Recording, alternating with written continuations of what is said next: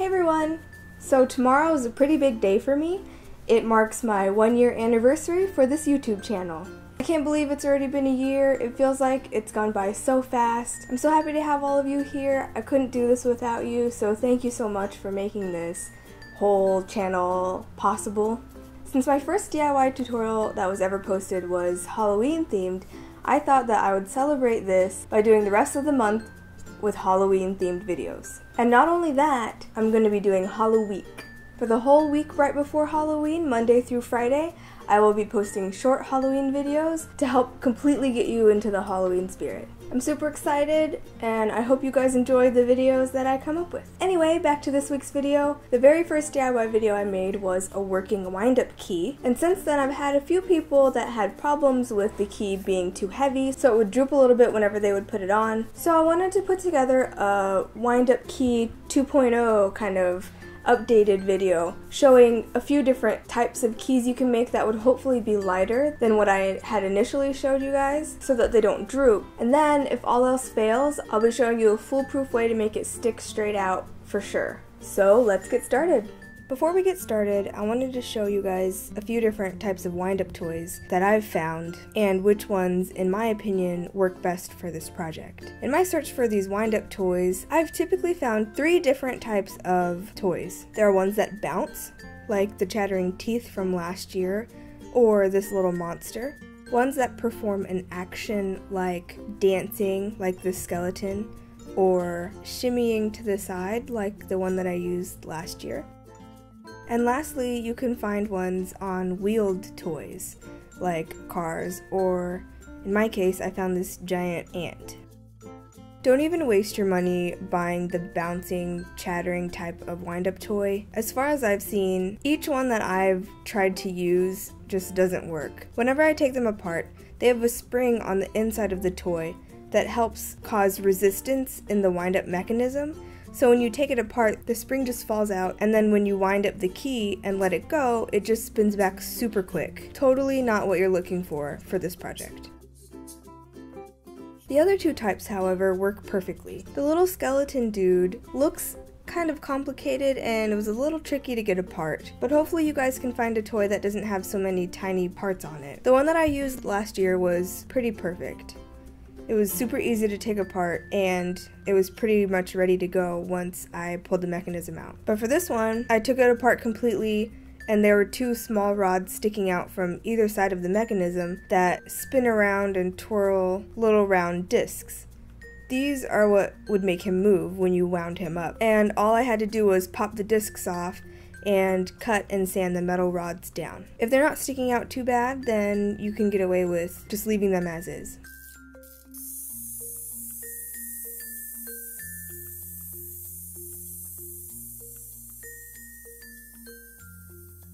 The last one, the wheeled type, is pretty much the same as the last one, but the metal rods are normally longer and they have wheels on them. With these ones, I think that you would have no choice but to snip and sand the metal rods down since they stick out so much. In the first video I made, I suggested pulling the rod out completely, but just to be safe, I would leave them in and just cut and sand the metal down if you need to, just to make sure that everything on the inside stays together.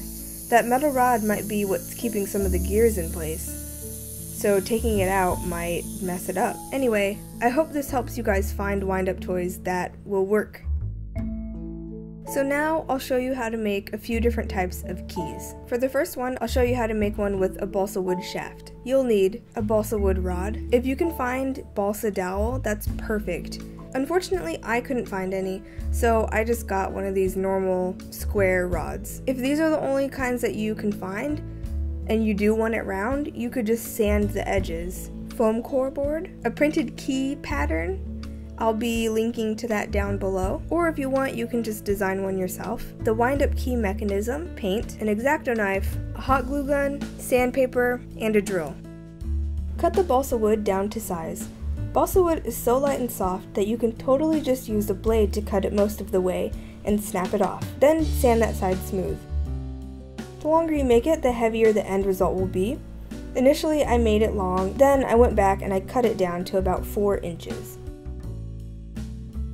drill a hole into one side. Use a drill bit that's about as big as the rod from the wind-up mechanism. You can see here that I snapped off the little plastic bit that helps you twist the key around so I need to make the hole as large as the rod. If you can't remove the plastic bit, or you don't want to, you need to drill a hole that's as big as the plastic. Use the template I provided to trace the key design onto the foam core board and cut it out. Be sure to use a sharp blade because if you don't, the foam on the inside will catch and ball up, making your edges look horrible. Cut the rectangle at the bottom to match the size of the wood that you're using. Use hot glue to attach the key onto the wood and then paint. Use craft paint to paint this key. However tempting it may be, do not use spray paint. The solvents in the spray paint will react with the foam in the foam core board and it will dissolve. I did a base coat of cream and then I painted it gold. Set it aside to dry. For this other version, I'll show you how to make it with foam. You'll need a foam backer rod.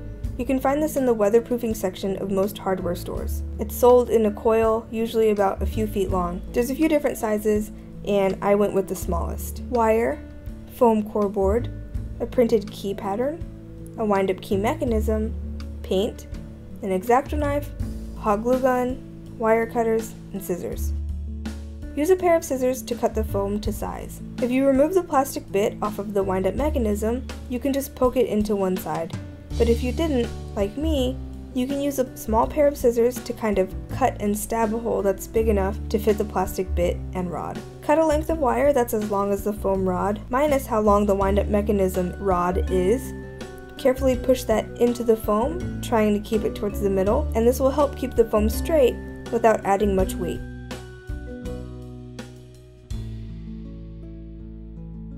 Cut a key from the foam core using the printed pattern and a sharp blade. I used the smaller version for this key. Cut the rectangle at the bottom to the size of the foam rod. Slip the key onto the foam and apply hot glue around the seams. Make sure you don't touch the metal of the glue gun to the foam or it will melt. Now just paint it and set it aside to dry. Normally, you'll just attach this to a normal, thick, stretchy belt, but if you can't find one, I'll show you some examples of what you can do instead. For this first one, you'll need some thick elastic cut to fit your waist, Velcro, a needle and thread, and optionally, you can use some ornamental hook and eye closures. Sew one side of the Velcro onto the ends of the belt. Take the other piece of Velcro and sew it to the other end of the belt on the inside. So when you wrap it around yourself, the Velcro pieces can touch and secure the belt. If this is going to go under your costume, then you can stop here. But if you want to dress it up a little bit, then you could totally add some pretty ornamental hook and eye closures to make it look nice when you close the belt. To figure out the placement, velcro the belt together and put the hook and eye pieces onto the belt and mark where they are. And then just sew them in place.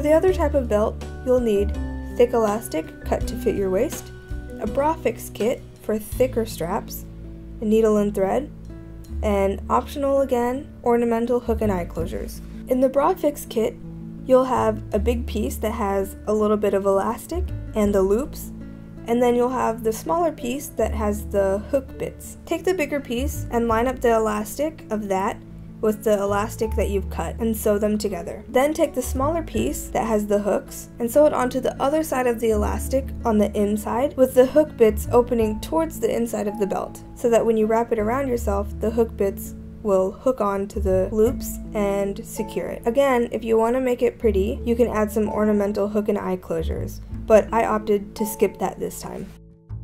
Attaching the key to the belt is the same way for either type of key. There's only one difference, and I'll explain that when I get to it. Take your belt, fold it in half, and mark. Fold it in half again, lengthwise, and mark that to find center. If you snapped off the plastic end of the wind-up mechanism, then you can just push the metal rod through. This is ideal because then none of the elastic is damaged. If you did keep the plastic bit on, then you can try to make a hole with an awl or something that's big enough to shove the plastic bit through, but you might have to end up cutting it to make a hole that's big enough. Once that's through, add a little dot of hot glue at the bottom of the wind-up mechanism, avoiding any of the moving bits, and attach it to the belt. Repeat for the top. Then it's just a matter of squeezing some hot glue into the shaft of the key and sticking it onto the metal rod of the wind-up mechanism. Here's where it's different for the foam key. If you squeeze the hot glue directly into the foam, it would just melt. So instead, apply the hot glue onto the metal rod of the wind-up mechanism and then push it into the foam.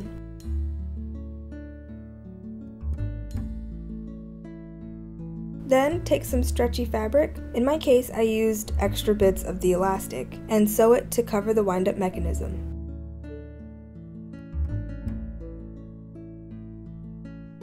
And then you're done! Hopefully the lighter keys don't droop, but if they do, here's how you can fix it. You'll need a droopy wind-up key, two pieces of cardboard, about 4 by 8 inches, with the corrugation running up and down in one and side to side in the other, hot glue, and paint. Sketch out a more interesting shape. You could just stick with the rectangle, but it's a little boring in my opinion, so I tapered the ends like so. You could just do an oval or something like that too. Cut out the shape and use that as a template for the other piece. These are going to end up being glued together, so try to make them as similar as possible. Also, you want to make sure the corrugation is running perpendicular to each other because that will add strength when they're glued together. Take the piece that has corrugation running up and down, find the midpoint, and cut a slit going from the middle to the bottom.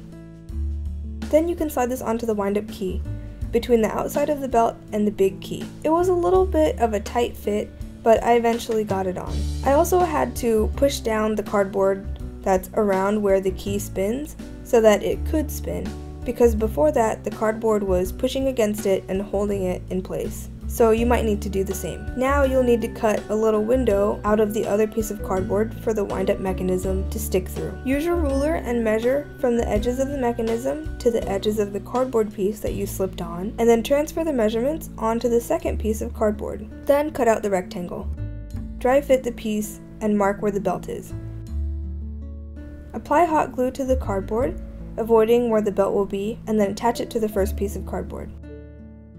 Apply hot glue to the other side and stick together. Trim off any cardboard that doesn't match up perfectly. From here, you can paint it and be done, or you can add a little bit of decoration to pretty it up. I sketched out some hearts and swirls, and then I used my hot glue gun to draw over it, making a 3D design. I let that cool, and then I painted it. I ended up just painting everything gold because I didn't have more of this copper paint that I used for the key initially. Once that's dry, try it out. There is no way that this will droop now. The only downside is that you can't really hide the belt anymore, but if you use the belt that matched your costume, then it might not matter anyway. I hope you all enjoyed this video, and thank you guys so much for tuning in. Here's to many more years of DIY videos, hopefully. If you did like this video, then please hit that like button, and if you want to see more, then please subscribe. I post speed painting videos every Tuesday and DIY videos every Thursday. You can follow me on Twitter, Tumblr, Instagram, or Pinterest, and I'll leave the information to those down below. If you have any questions or suggestions for future videos, please leave a comment down below, and I'll see you next week.